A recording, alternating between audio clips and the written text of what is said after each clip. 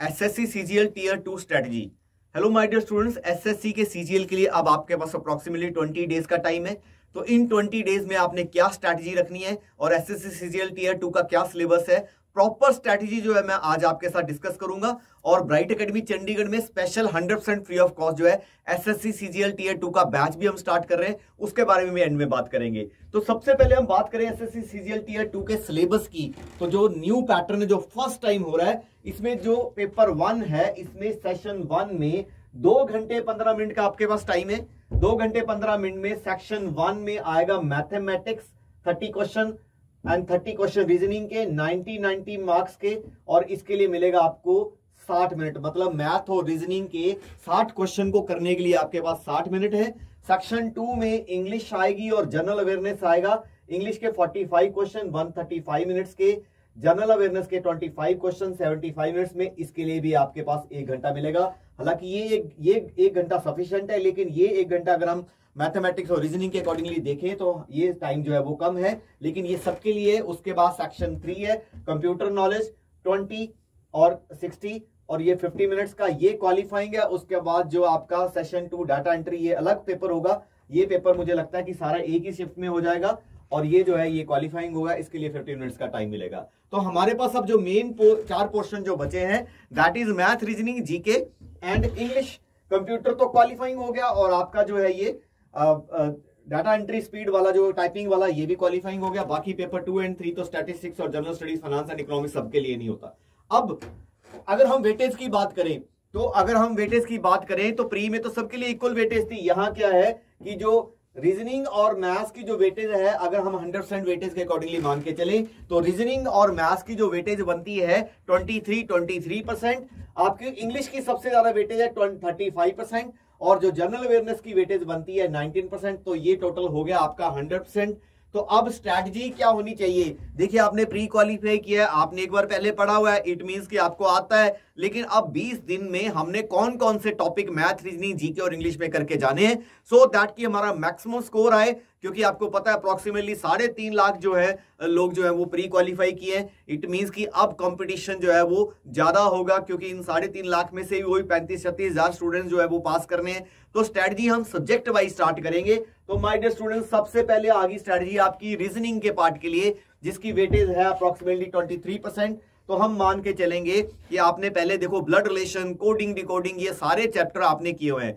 इन पे आपने कम टाइम लगाना है। इस स्टेज पे जो 15-20 दिन का टाइम आपके पास बचा है, उसमें आपने एक तो नॉन वर्बल रीजनिंग जो है, जिसमें मेन फोकस आपका paper cutting paper folding cubes counting of figures mean square triangles वगैरह, ये वाले जो टाइप के क्वेश्चन है, एक तो इसको करके जाना है।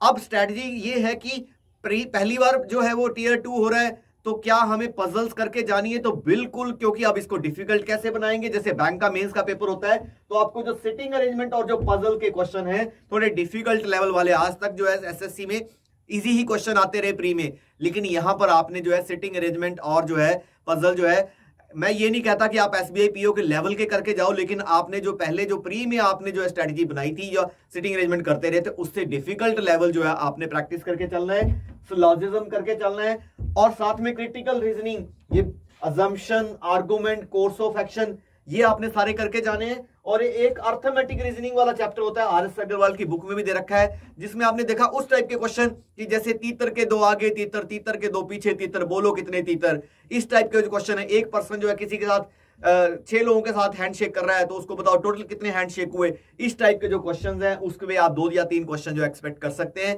तो ये आपने जो मेरे हिसाब से, जो मेरा एक्सपीरियंस 20-22 साल का है, उसके हिसाब से आपको ये चैप्टर्स तो बिल्कुल अच्छे से करके जाने हैं। और बाकी कोई अगर आपका चैप्टर वीक है, मान लो आपको सीरीज़ नहीं आती है, आपको ब्लड रिलेशन नहीं आता तो उसकी तो ऑब्वियसली आपने जो है एक बार कंसेप्ट क्लैरिटी करनी है। ये हो गया आपका रीजनिंग का। अब आ गई हमारी इंग्लिश की स्ट्रेटजी अब इंग्लिश में आपने comprehension cloze test synonym antonym आपके फिल इन दी ब्लैंक्स बेटा, इस स्टेज पे आके आप जो है लैंग्वेज में वोकेबलरी को जो है पंद्रह बीस दिन में इंप्रूव नहीं कर पाओगे। तो जो चीज़ें आप इस स्टेज पे आके इंप्रूव कर सकते हो, उनके ऊपर ज़्यादा फोकस करना है। वो क्या है? वन वर्ड सब्सिट्यूशन ये याद करने हैं। ईडीएम एंड फ्रेजेस ये याद करने वाली हैं। एक्टिव पैसिव एंड नरेशन एक लिमिटेड सा इसका स्कोप रहता है सिलेबस है तो इसके सारे रूल्स आप लर्न करके जाओ, इसकी प्रैक्टिस करके जाओ। अगर दो दो क्वेश्चन यहाँ से आते हैं तो आपके ये सारे नंबर पक्के और सेंटेंस रीअरेंजमेंट के जो रूल्स होते हैं, उनको प्रॉपर से करके जाना है। और जो उसके बाद अगर आपके पास टाइम है, जो ग्रामर के जो रूल रूल्स है आर्टिकल हो गया प्रेपोजिशन हो गया फ्रेजिज हो गया, ये सारे आप करके जा सकते हो। लेकिन इस स्टेज पे आपको बोलूँ कि आप जो है एंटोनिम सिनोनिम जो है, इनको रट्टे मारते रहो, उसका कोई फ़ायदा नहीं है। तो इस स्टेज पे आपने जाके ये सारी चीज़ों के ऊपर इंग्लिश में फोकस करना है। उसके बाद आ गया आपका मैथ्स की जो स्ट्रेटजी है मैथ्स में हम ये मान के चल सकते हैं कि क्योंकि अब, अब आपको जो है वो मेंस का पेपर है तो डीआई के जो है आपने एक अच्छे से प्रैक्टिस करनी है। डीआई थोड़ा डिफ़िकल्ट आ सकता है। मेंसुरेशन के चैप्टर की आपने अच्छे से प्रैक्टिस करनी है। एल्जबरा हो गया आपका ट्रिग्नोमेट्री होगी ज्योमेट्री होगी और नंबर सिस्टम और टाइम डिस्टेंस एंड ट्रेन ये पाँच छह जो चैप्टर हैं, आपने अच्छे से करके जाने लेकिन हालाँकि मैंने ये टोटल जो है 15 चैप्टर आपको बताया कि यहाँ से क्वेश्चन आ सकते हैं। तो मेंसुरेशन हो गया time and work simple interest and compound percentage ratio आपका trigonometry geometry algebra number system time and distance and train profit loss algebra average partnership and miscellaneous ages वगैरह का जो चैप्टर है। हालाँकि मैथ्स में आप ये नहीं कह सकते कि एक पर्टिकुलर चीज़ों को ही आप करके जा सकते हो, लेकिन यह है कि trigonometry geometry algebra mensuration time and work data interpretation के ऊपर आप अच्छे से करोगे तो ये जो 10 बारह क्वेश्चन जो उसमें से आएँगे वो आप अच्छे से जो है अटेम्प्ट कर पाओगे, क्योंकि यहाँ पर जो है टीयर टू का लेवल जो है थोड़ा सा हाई भी रहेगा डिफ़िकल्ट भी रहेगा। अगर हम बात करें कि जीके में अब क्या स्ट्रेटजी करनी चाहिए, अब आप मैथ भी करोगे रीजनिंग भी करो इंग्लिश भी करोगे, और जीके में अब आप history geography biology physics chemistry ये सब चीज़ें नहीं कर पाओगे स्टेज पे जाके, क्योंकि उसको इंप्रूव करने में टाइम भी ज़्यादा लगता है, पढ़ने में ज़्यादा टाइम लगता है। तो आपने जो है मेज में जो है, क्योंकि हम एक्सपेक्ट करके चल सकते हैं कि मेज में जो है जीके में देखिए, अगर हम जीके की बात करें तो आपके जीके में माय डियर जो है वो 25 क्वेश्चंस आएँगे। तो हम ये मान के चल सकते हैं कि पाँच से सात क्वेश्चन जो है वो करंट अफेयर्स के ज़रूर आएँगे। तो करंट अफेयर जो है, आपने जो है वो अच्छे से छह महीने का करके चलना है। अगर आप हमारे साथ पहली बार जुड़ रहे हैं, पहली बार वीडियो देख रहे हैं तो ब्राइट अकेडमी का ट्रिपल ए ब्राइट अकेडमी आप जो है, आप टेलीग्राम पे सर्च कर सकते हैं, ट्रिपल ए ब्राइट एकेडमी। और इस पे जो है वो मैंने मंथली जो है वो करंट अफेयर हम जो है वो पीडीएफ डालते हैं। इसकी थ्योरी भी डालते हैं ऑब्जेक्टिव भी डालते हैं। मैं एश्योरेंस ले रहा हूँ कि अगर आप वो छह सात महीने का करंट अफेयर करके जाते हो, कहीं और से करने की ज़रूरत नहीं है।